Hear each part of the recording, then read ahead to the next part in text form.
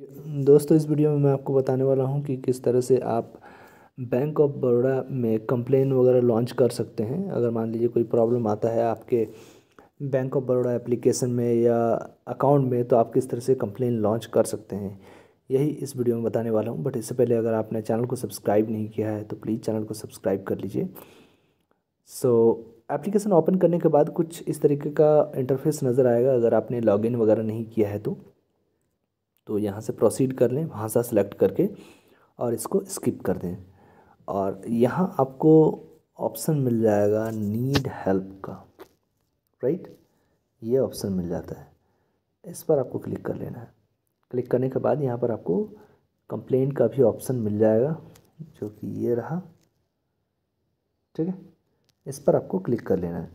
और उसके बाद फिर अपना डिफ़ॉल्ट ब्राउज़र चूज़ कर लेना है या कोई भी ब्राउज़र चूज़ करके आप इनके वेबसाइट पे चले जाएँ और यहाँ से आपको कंप्लेन दर्ज करना है सबमिट करना है, ठीक है? सो फ़र्स्ट वाला ऑप्शन को चूज़ करना है। चूज़ करने के बाद यहाँ पर कंप्लेन रजिस्टर करने के लिए आप सबसे पहले ये सारी चीज़ें सेलेक्ट कर लें। जैसे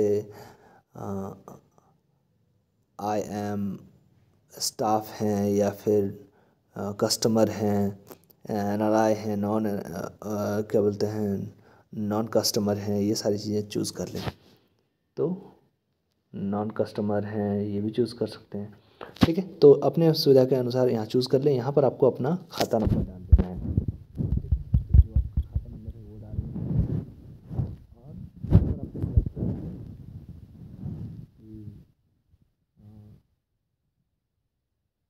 क्रेडिट कार्ड है आपके पास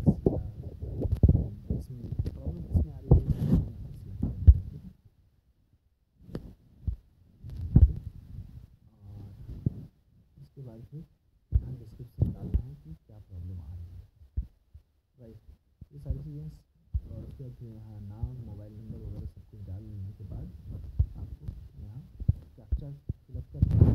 और कैप्चा फिलअप करने के बाद यहाँ से आपको सबमिट करना है।